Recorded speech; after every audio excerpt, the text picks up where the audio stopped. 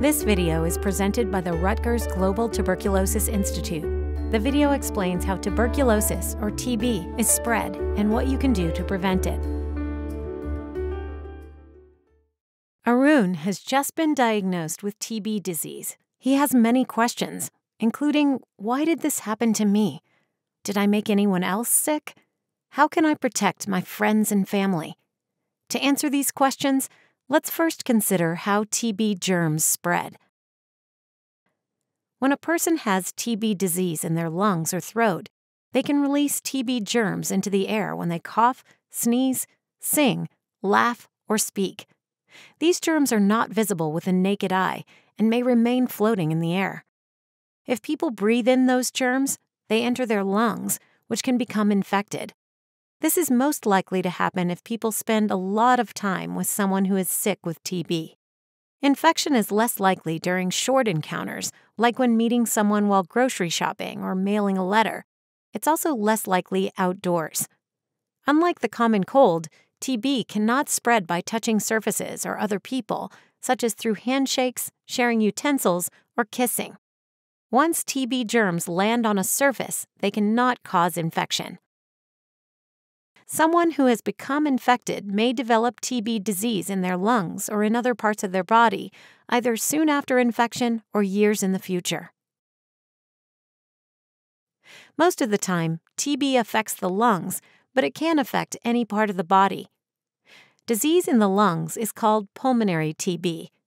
Disease in other parts of the body is called extrapulmonary TB. TB of the lungs is the type that is most likely to spread from person to person. Someone with a strong cough and with lots of TB germs in their lungs is more likely to spread TB to others. Adults are more likely to spread TB than children. People are more likely to be infected if they spend a lot of time in close contact with someone who has TB disease, such as family members, coworkers, or friends. People who have lived in or traveled to countries with higher rates of TB are more at risk for becoming infected with TB. Since TB is spread through the air, anyone can become infected with TB. A diagnosis does not mean that a person did anything wrong. It only means that they breathed in TB germs and became infected. Without treatment, they can go on to develop TB disease, like Arun, and spread TB to others. It is possible for someone to spread TB before they know that they are sick or are diagnosed with TB. This is why it's important for Arun to speak with the health department and share information about who he has spent time with while he was sick. This includes family members, friends, and coworkers. The health department will reach out to anyone who might have been exposed to TB germs so that they can be tested and treated. This is called a contact investigation. If someone has been infected, they can be treated to prevent them from becoming sick with TB disease. The health department will not share Arun's name or tell that he has TB. They will work as hard as they can to keep Arun and everyone else's personal information private.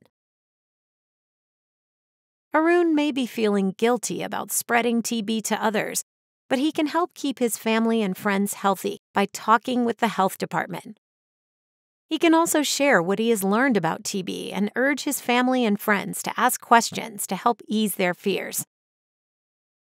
What are some ways that Arun can take action now to reduce the chances of spreading TB to others, including his friends and family? When Arun is first starting his treatment and before the medications have enough time to work, he may still be able to spread TB germs to others. This means that TB germs are still leaving his lungs when he coughs, sneezes, sings, laughs, or speaks.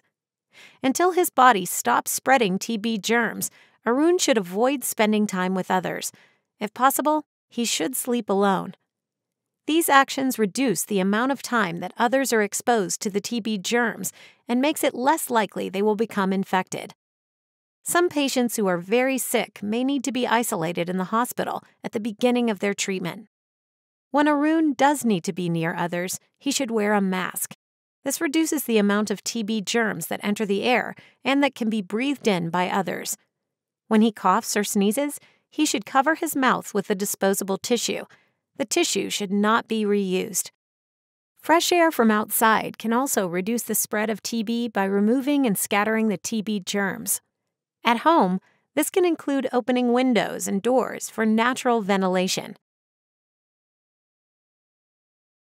TB is treatable and curable with the right medications. Arun's healthcare provider will discuss the best options for treating his TB. Most patients with TB will start feeling better early in their treatment and will be less likely to spread TB to others. A healthcare provider will perform tests to be sure. Even after he is no longer spreading TB, Arun needs to continue taking all of his medicine for the full length of his treatment. If he stops before his healthcare provider says it's okay, he may become sick and start spreading TB again. The health department can provide support to help Arun get through his treatment. Arun now feels more confident in his ability to protect others from being exposed to TB using isolation, masks, and ventilation. He will also follow his healthcare provider's advice to complete all of his treatment to help both himself and others. It can be scary to receive a diagnosis of TB, but it's important to know that TB is curable and that there are ways to avoid spreading it to others. Like Arun, you should be sure to share your questions and concerns so that your healthcare provider can help you with the information and care you need.